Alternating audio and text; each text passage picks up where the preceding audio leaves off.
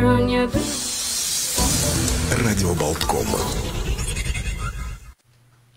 Еще раз доброе утро, уважаемые радиослушатели. Продолжаем работу в прямом эфире. Сейчас у нас на связь посредством Zoom выходит эксперт Латвийской конфедерации работодателей Петрис Лешконс. Добрый день. Добрый день. Да, я знаю, что вы, кроме всего прочего, еще и ведете, ну, один из ведущих э, такого интересного семинара, который вот проводит Конфедерация работодателей, связанное о том, как совместить работу и частную жизнь, и это совсем сейчас э, актуальный вопрос с учетом того, что мы продолжаем уже, многие по-прежнему продолжают и после локдауна работать э, удаленно. Как вам кажется все-таки ваши ощущения, общаясь и э, с, с руководителями фирм, компаний, и с наемными работниками, мы уже привыкли вот к этой новой жизни, и как мы вообще в этом себя чувствуем вот в работе удаленно, из дома зачастую? Ну, я думаю так, что COVID э, сам по себе очень нехорошая вещь. Э, она требует довольно много жертв э, насчет здоровья, но да. есть одна хорошая вещь, что этот COVID сделал. Он очень-очень ускорил переход на отдаленную работу там, где это возможно, и там, где люди сами, ну, может по своим, по своей домашней ситуации позволить себе работать дома, да, чтобы там была нормальная обстановка. И то, что, конечно, для очень многих людей, которые раньше не могли э, ну, толком совместить работу с уходом а за кого-то из своих близких, да, да. это было очень-очень трудно совместить. Сейчас на, на целом ряде профессий это уже возможно стало, и это уже как, как будни, как это привычное дело, что вот человек может, что мы покупаем не, не дежурное время, то есть, да, что он отсидел там э, столько-то, столько да. часов в каком-то месте. Мы покупаем работу. Э, работник должен сделать то, что он знает, что он. И это, конечно, повышает уровень ответственности самих работников. Они сами более организованы и все это прочее. И нету больше такого, ну, что я там сделал работу, не сделал, пять часов, поднялся, пошел. Да, сейчас все-таки э, люди сами знают, как он, они организовывают свою, э, свое время работы и как они и это, конечно, э, очень большой шаг вперед, э, я думаю, потому что это и уменьшает СО2, э, то есть на перемещение. Ну, довольно много людей ездили ну, из-за э, да. границ Риги в центр, обратно, там 30 километров в одну сторону, 30 в другую. Очень это много все, времени конечно, тратилось, да. Да, это будет э, хорошие такие. Ну, конечно, да, есть э, очень много людей, которые на данный момент сможет более хорошо совместить э, работу, но не, не во всех профессиях, конечно, да, потому что я так понимаю, еще, ну, чистить помещение и все это прочее, это еще так э, не сразу возможно. Конечно. Конечно, происходит роботизация, но все-таки человек должен находиться на местах, и есть очень много все-таки такие, ну, если мы смотрим производство, тогда там тоже очень много все-таки надо находиться на месте. Да. Да. Вот если мы говорим э, о таком диалоге правительства с теми же работодателями, вот все-таки за два года много чего изменилось. Я так понимаю, что правительство тоже при всех ошибках, которые оно совершает, она пытается какой-то диалог вести.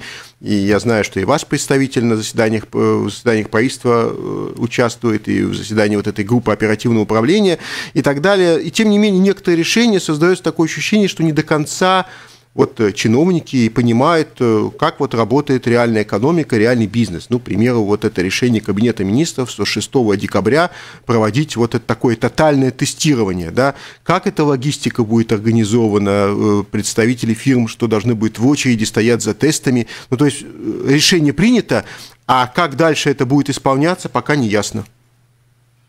Ну, это, это конечно, с одной стороны, это шаг в правильном направлении, потому что мы понимаем, что при нынешнем э, э, удельном весе вакцинированных людей у нас еще есть очень, ну, довольно большая опасность на, насчет того, что ну, распространении этого вируса, угу. потому что мы все-таки как-то Сейм не, не одобрил Э, тот законопроект, который правительство подало 16 июля Еще, Сейм да, на одобрение, Сейм не одобрил, и сейчас у нас ситуация довольно такая. Э, на каждый месяц мы делаем в среднем валовый продукт Латвии э, делается в среднем 2,5 миллиарда. Значит, от этого где-то 800 миллионов идет на, на на налоги. Да? И если мы так смотрим, значит, если один месяц вообще все остановить, тогда э, мы теряем очень-очень большой валовый продукт и очень большую массу налогов. Значит, поэтому этот расчет был такой, что да, хорошо, э, правительство оплатит там эти ну, несколько миллионов, сколько надо на тестирование, чтобы э, заранее исследить все эти э, моменты, когда распространяется вирус, да, ну, конечно, тут будет опять чуть-чуть проблема, но я думаю, что до 6 числа хотя там только чуть-чуть больше недели осталось, э, какая-то ясность будет, как это будет, будет проводиться, и если не будет ясности, тогда по-моему, логично было бы просто чуть-чуть откладывать это число, чтобы это не создало э, ситуации, что ну, затруднение опять экономики. Да? Потому что самое важное нам не останавливать экономику в тех секторах, где мы можем продолжать работать. Да. Вот э, говоря об экономике, совсем недавно, именно на этой неделе, Сейм все-таки принял бюджет в окончательном чтении, и там э, особо радикальных изменений в налоговой системе нету, ну, если не считать вот это решение об увеличении необлагаемого минимума зарплаты пенсии с 1 января 350 евро необлагаемый минимум, с 1 июля следующего года 500. Вот как вам кажется, может быть, правительство, несмотря на то, что год будет выборный, упустило какие-то возможности для коррекции налоговой системы? Ну да, конечно, я должен сказать, что в этом случае правительство опять все-таки пошло э, в сторону популизма, потому что вы говорите, что э, правительство повысило необлагаемый минимум до 500. Нет, правительство не повысило необлагаемый минимум э, до 500, потому что если у человека, скажем, там заработная плата полторы тысячи, что является ну, более-менее, да, да, э, да, там да. неблаговой минимум совсем маленький. Совсем да? маленький, да, э, вы правы, да. Правительство повысило границу необлагаемого минимума, дифференцированного необлагаемого минимума для тех, у которого есть маленькие заработные платы. Да? Они будут получать больше.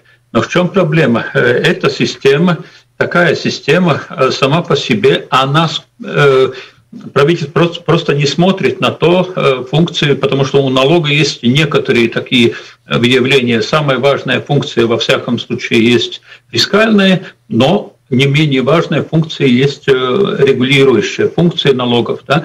и дифференцированный необлагаемый минимум в исполнении латвийского правительства, он, к сожалению, тянет нас на экономику дешевой рабочей силы, экономику низких заработных плат и теневую экономику. И э, проблема в том, что при нормальных заработных плат э, необлагаем минимум почти нету. Да? И есть очень большая такая ну, тяга в ту сторону, что э, очень э, дешево платить маленькие зарплаты и, может быть, кто-то и умудряются э, что-то в конверт, но э, нормальные заработные платы э, платить дорого. И поэтому у нас рабочие места, где может быть нормальные и хорошие заработные платы, они здесь не распространяются так быстро, как должны. И так и мы сидим на очень низком уровне средних заработных плат. Наши соседи нас очень-очень насчет этого обогнали.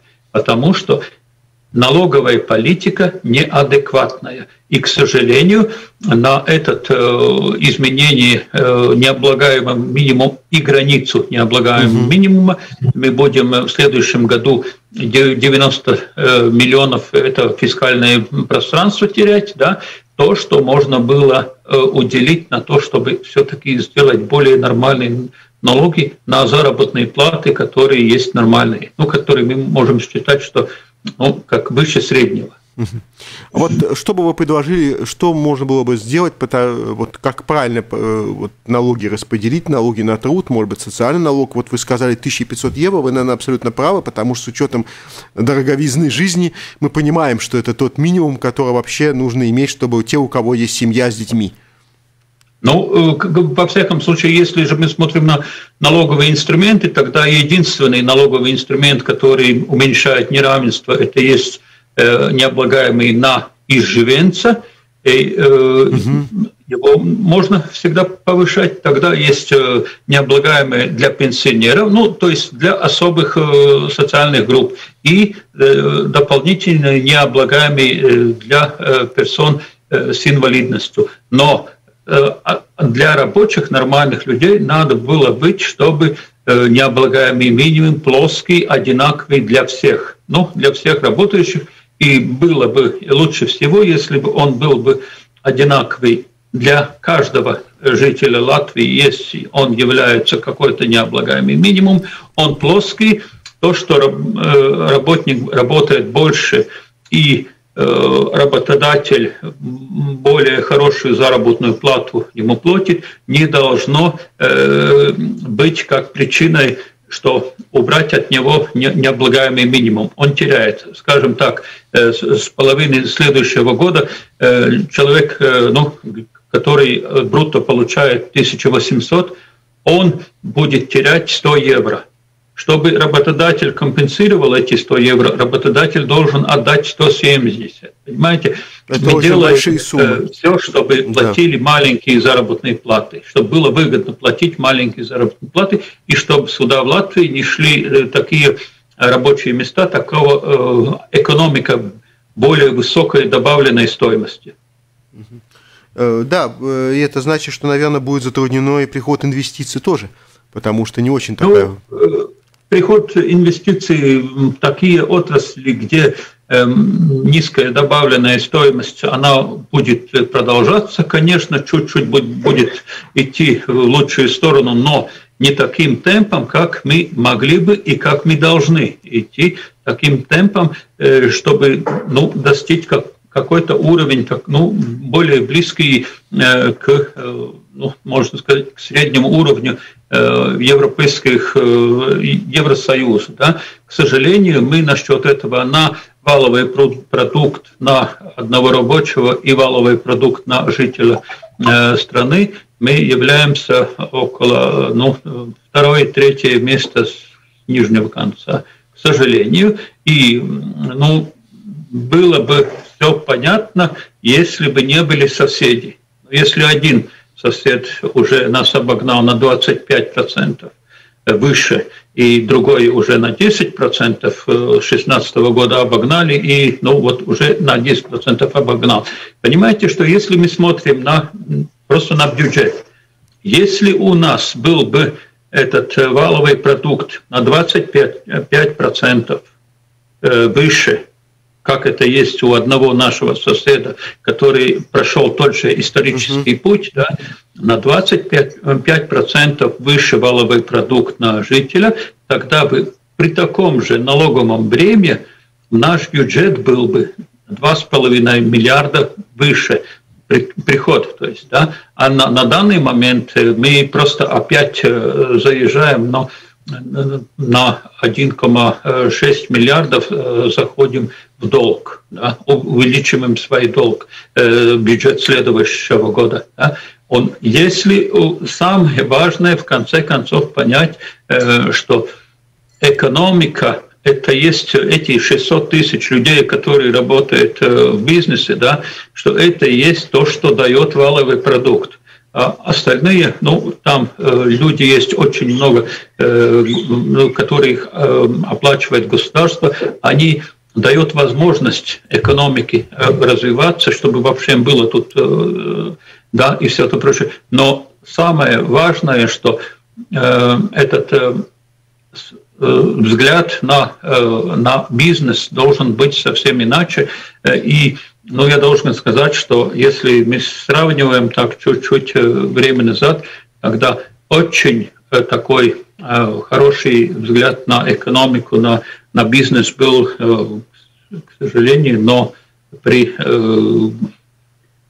в семнадцатом году, в восемнадцатом году, да, Тогда, конечно, 16-17 год это было, когда министр финансов смотрел, как сделать лучше для развития экономики. Вот, к сожалению, последние года это уже идет более в сторону популизма, но э, плохо то, что этот, э, э ну, это э, ну, Бирзенс, да, что направление, это, да. это направление, оно заставляет нас всех жить в экономике э, низкой добавленной стоимости, и, в общем-то, мы со своим бюджетом разделяем свою бедность, свою бедность. Мы могли бы быть куда более высокой э, добавленной стоимости, мы могли быть э, с более высоким балловым продуктом, как минимум на 25% он мог быть выше, и тогда э, бюджет был бы на 20% выше, и, значит, все, которые получают из государства свои заработные платы, они могли получать нормальные заработные платы, и пенсии были бы выше, и все. Понимаете, мы на данный момент разделяем ну, какую-то, можно сказать, э, бедность, по идее. Да. Ну, вот... конечно, мы не самое плохое место э, в Евросоюзе, да. но, к сожалению, одна из самых низких. Да, вот такой вопрос хотел тоже задать, вы уже упомянули частично. Не является ли вообще опасным вот э, для экономики и для бизнеса вот это очень резкое наращивание государственного долга, потому что уже в бюджет заложено, что у нас государственный долг превысит 51% от э, ВВП или ИКП. Это уже достаточно тревожный момент. Ну, э, так, этот, сам по себе этот фактор – что ну, э, такой уровень, он не такой уж э, страшный, потому что есть очень много государств, которых есть он выше. Но я опять должен сказать, что один из нас, наших самых близких соседов уже сколько лет не, ну, не, не, не выращивает свой этот да, у, него, у них есть да. сбалансированный бюджет да, значит, сбалансированный бюджет – это возможно, и, конечно, э, кому-то когда-то придется за это расплачиваться, э, когда, когда будет расти, опять же, все-таки, ну, придет время, когда будет расти эти ставки на, э, ну, на процентные ставки да. на деньги, да, тогда, конечно, наше государство будет довольно много тратить на, на обслуживание внешнего долга. Да? И это, опять же, будет деньги, которые отняты от э, то, что государство может сделать само лучше. Да? Угу. Этот, ну, это есть, конечно, э, такая такая проблема есть, что лучше не наращивать.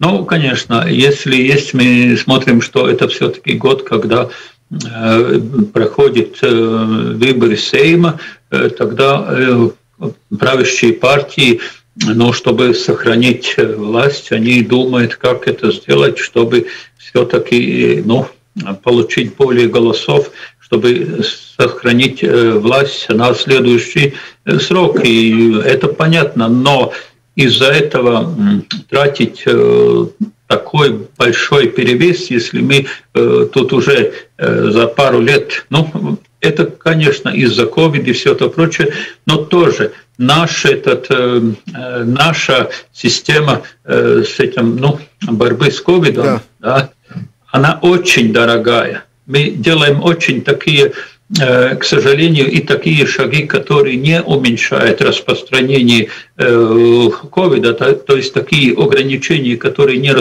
не, не, не уменьшают распространение ковида, но они очень дорогостоящие. Также прикрытие этих больших магазинов, из-за которых э, концентрация на улицах, э, в очередях у маленьких магазинов и все то прочее, эти они дорогостоящие для экономики, для бюджета, но их мы как-то умудряемся все-таки делать. Да? И это, конечно, мы выращиваем свой... Ну, кто-то должен будет эти деньги отдать. Это будет, ну, Болезненный ну. процесс, да. Вот еще вы упомянули вот эти ограничения, мы понимаем, вы об этом сказали в самом начале, что понятно, что пандемия, э, тяжелая вещь, ковид, все это ясно ограничения должны быть определенные, никто же с этим не спорит, но иногда действительно логичность этих ограничений вызывает большие сомнения. Ну вот, не знаю, кафе и рестораны, которые уже тоже, в принципе, выживают с трудом, мы знаем, что их периодически закрывают, да, э, как мы знаем, сейчас их время ограничено до 21.00, при этом, ну, очень логичного объяснения я не услышал. Можно подумать, что если кафе будут или рестораны продолжать работать э, до 22, то, не знаю, вирус именно нападет на человека в 21.05. То есть иногда не очень это логично. Те, то же самое, ни в коем случае я там не лоббирую не поддерживаю там этот игорный бизнес, но ведь мы понимаем, что если мы запрещаем им работать, значит, мы все налогоплательщики будем компенсировать то, что они не работают. Ну, какой в этом смысл? Ну да, это, понимаете, если мы смотрим тогда на этот э, ограничение, есть ограничения, ну, скажем, как продлили э, школьный этот э, каникул, продлили. Понятно, э, Там да. довольно большой, большой оборот всегда, да. да. Э, там сделали, что, ну, там э, с какого-то класса, там шестого, по-моему, уже все-таки чуть-чуть более отдаленно работали, да. да? Э, закрыли эти, ну, э, массовые Э, мероприятия да. отдыха. Да. Это есть места, где он распространяется. Но если же мы смотрим, опять же, на этот э, команд час или как он называется, да? Да, да локдаун это, да. Да, Майсейд, да, ну, домоседство, да. Понимаете, да. человек работает, он едет на работу утром и вечером домой. Около шести, он пол, пол шестого в шесть он заканчивает работу, ему надо попасть домой, и по пути надо купить э, кое-что в магазине. Э, Магазин что было? Да, был. Невозможно. Прикрыли, закрыли, и эти люди, которые создают валовый продукт в промышленности, они оказались в очень такой нехорошей ситуации. Их зажали э, в общественный транспорт – там очень довольно так, э, ну, плоское да, время, да, абсолютно, то да. общественный транспорт был довольно наполнен. Да. Э, это опять распространение. Этот э, комендантский час, он вообще, по идее, ну, кто ночью, конечно, я слышал э, еще осенью, я слышал, что надо прикрывать э, как раз комендантский час, он эффективен, э, потому что этот вирус COVID, он э, в темноте не виден, и он может подкрасться легче к человеку, да, и поэтому надо сделать комендантский час. Но оказалось, что все-таки и днем его не, не видно, да. Ну, я, я, ну такие, э, такие запреты, ну, опять же, эти магазины, да, суббот, воскресенье большие не работает. Рабочий человек, который создает валовый продукт, он как-то все-таки должен когда-то купить э, зимнюю обувь и все то прочее. Да? Он когда-то это должен сделать. А рабочие дни он не может. Он может быть, может быть после работы куда-то бежать э, и что-то э, стараться по, э, купить. Да? У него есть э, этот сертификат, все есть. Он мог бы идти нормально в субботу Конечно. или воскресенье на эти большие магазины, где есть очень большое пространство воздуха, где есть э, нормальные системы вентиляции. Мы эти магазины закрываем. Что он делает? Он, э, он как, ну, я бы сказал, не совсем послушный гражданин, он идет к маленькому магазину и толпятся в этих очередях. Но, опять Зачем? же, кому это хорошо, и мы с налогов платим из-за того, что этот большой магазин стоит э, в простое. Да, ну, ну, да, вы упомянули, конечно, э, по-моему, очень-очень много надо думать о том, э, как мы делаем. Ну, конечно, был тот момент, что э, ну, люди все-таки на зиму, им надо было э, что-то сделать, чтобы дом э, на зиму перед этим да. сезоном э, отопительным был, было все в порядке. Прикрыли эти булматериалы. Да? Что случилось? Э, очень многие ездили э, в Литву магазинах. Ну, мы там этот ПВН оставили там, все оставили там, еще заполнили бак, значит, и акциз на, э, на, на горючее тоже, опять же, мы там оставили. Это все должно было работать и оставаться здесь. Да? И что толку, что они там ездили, ну, я понимаю, что, может быть, кто-то думает, что очень опасно то, что, ну, как было – Э, до 2019 года, конечно, ну, э, было такое, что ну, некоторые люди, э, как эти большие магазины, хлебвекалы, они использовали как один день от, от ну, да. выходных. Да. Он просто и шел туда, обошел все магазины, идел там, есть, и хорошо посидел в ресторанчике, и все было хорошо. Это его как вид отдыха. Но на данный момент это тоже давно не работает. Да? Это люди идут, и они хотят купить то, что им обязательно нужно. Да? И вот эти ну, кривые ну, нелогичные ограничения, они требуют, требовали, их проверка требовала очень много сил из э, государственного сектора, э, то есть ну, ну, да, эти штрафы, все соблюдение, да, и при том одновременно мы должны были с налогов платить за то, что за этот простой. Ну, кому это надо, я не знаю.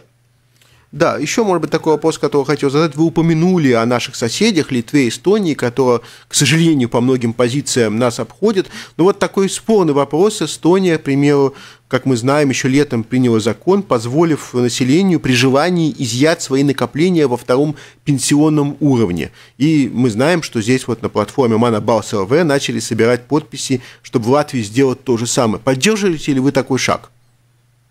Нет, я думаю, что это не совсем хорошо. Во-первых, тут есть некоторые, э, некоторые аспекты. Первый аспект, у них э, второй уровень э, менее накапливающий.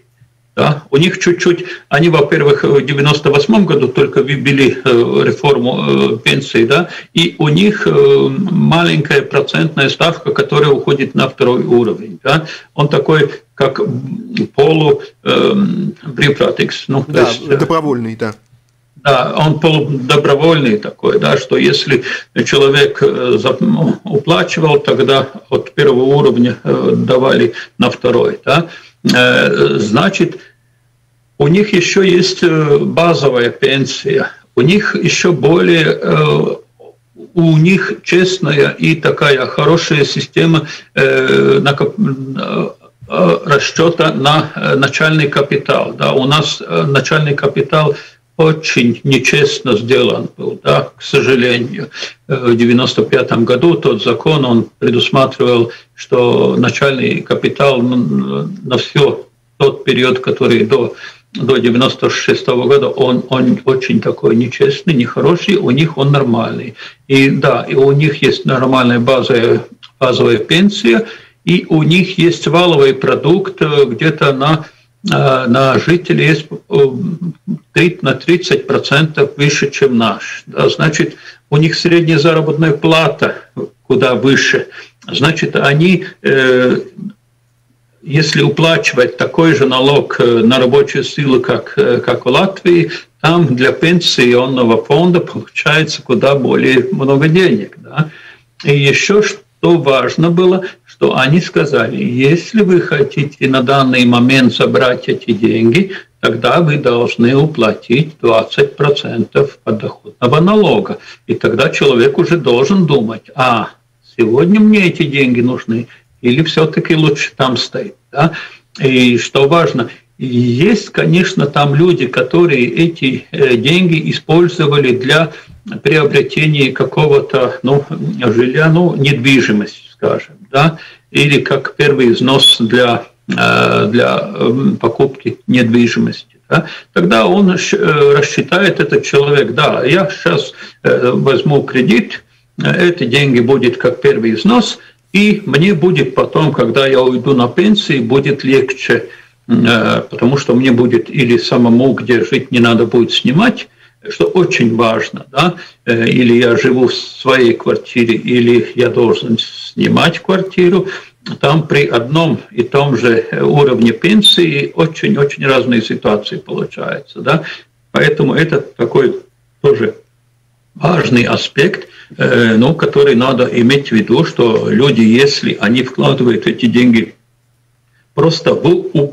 употреблении, тогда это я, я бы не поддерживал. Если он э, вкладывает в то, что ему в будущем будет давать Э, легче жить, то есть, угу. да, или сам, сам может жить там в этой недвижимости, или сдавать на аренду, да, да, и получать добавительную пенсию, которая будет выше, чем этот второй уровень, тогда все это, это будет да? хорошо. Угу. Да, может быть, такой последний вопрос. Вот э, как вам кажется, э, все-таки учитывая то, что мы уже два года живем вот в этих условиях пандемии и ограничений, Э, осознают ли в правительстве, что у экономики Латвии тоже есть свой предел? Ты не можешь все время ее каждые там полгода закрывать на какие-то локдауны, закрывать магазины, но ведь э, ограничивать производство. Но мы все-таки не Германия, у нас нет такого запаса прочности, что в конце концов э, все просто остановится. Ну, я, я думаю, что остановиться не остановится, но, конечно, дергать экономику, ну да, вы правы в том, что если ее все время дергать, конечно, тут э, довольно мало э, есть, э, очень плохо есть сделать прогноз. Какой-то, ну, бизнес он должен, ну, это вообще мы это мы вкладываем, то есть этот предприниматель, он вкладывает в свой бизнес-план, он знает, что, как, чему когда начинается этот, что дергает туда-обратно, и при том он не знает, как, что будет завтра, и что будет послезавтра, и что в пятницу вечером может э, принять э, указ, который начинает работать уже в субботу утром, да, и все это прочее. Это, конечно, дергает, и это не дает возможность, э, ну, если кто-то должен смотреть со стороны, на Латвию, да, тогда он должен смотреть, и он увидит, что он единственный, куда он может вкладывать, это такие э, на такие, на такой бизнес, где не надо больших инвестиций и где мы можем получить качественную, квалифицированную рабочую силу за небольшие деньги. Да? Но, к сожалению, это на данный момент так, э, потому что вкладывать э, ну, такой бизнес, который э, большой, делает большой валовый продукт на каждого рабочего, это довольно надо очень планы должны строиться на не, ну, как минимум 6-7 лет вперед, да, ну, угу. это как минимум, да, и, и тут, конечно, если есть такое, что ты можешь работать, не можешь работать, это дает довольно так, ну, ну, это не способствует, во всяком случае, э, приход инвестиций таких, которые у Латвии очень-очень нужны.